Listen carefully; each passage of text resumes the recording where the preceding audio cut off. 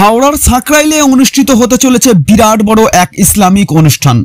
জাসনে সামি হজরত সায়েক সৈয়দ বাহাউদ্দিন স্বামী রহমতুল্লাহ আলাহির পবিত্র উর্স উপলক্ষে দুই দিন ব্যাপী বিরাট ইসলামিক অনুষ্ঠান।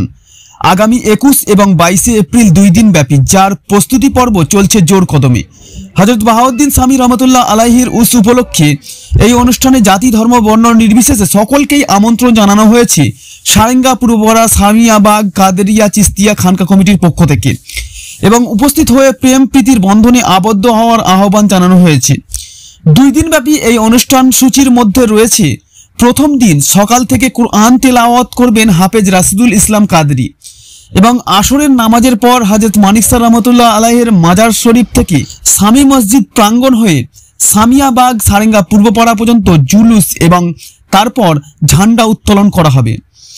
এবং মাগরিবের নামাজের পর স্থানীয় মসজিদ, মাদ্রাসা ও খানকা থেকে আসা সমস্ত অতিথিদের আপ্যায়ন ও সিলসিলা জাকিরদের সার্টিফিকেট দেওয়া হবে।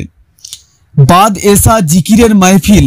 উপস্থিত থাকবেন সিলসিলার সমস্ত জাকিরগণ। তারপর মিলাদুন্নবীর জলসা, যেখানে প্রধান বক্তা হিসেবে উপস্থিত থাকছেন হায়দ্রাবাদের বিখ্যাত উর্দুভাষী মুফতি মাওলানা মোহাম্মদ সাগিল ইমাম আরিফ।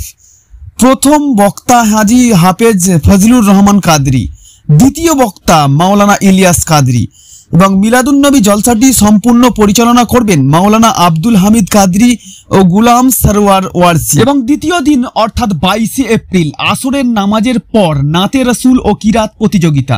বাদ মাগরিব মঞ্চে থাকছেন সায়ের ইসলাম রিজওয়ান হায়দার হায়দারি কাদরি এবং বাদ এসা মাইফিলে সামার অনুষ্ঠান রয়েছে। দুইজন বিখ্যাত কাওয়াল শিল্পী থাকছেন।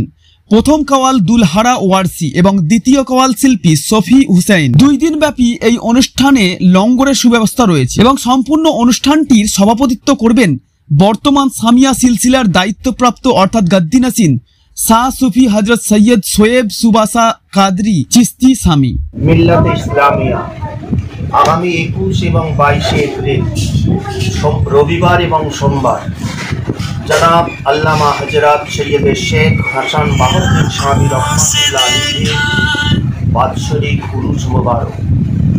সারেঙ্গা সামিয়াবাদ এই উপলক্ষে আপনাদের সকলকে সামিয়াবাগের পক্ষ থেকে আমরা সাদর আমন্ত্রণ জানাই জাতি, ধর্ম, বর্ণ, নির্বিশেষে।